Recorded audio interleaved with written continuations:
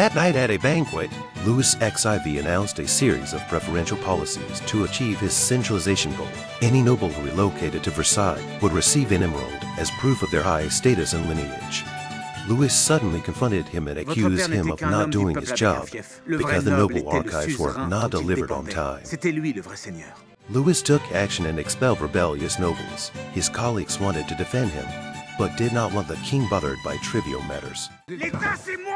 Louis XIV's angry roar expressed his true attitude and wanted to launch a centralization reform. Eventually, rebel nobles lost their land and were driven away by soldiers from Versailles, while other remaining nobles had to provide identification documents for verification.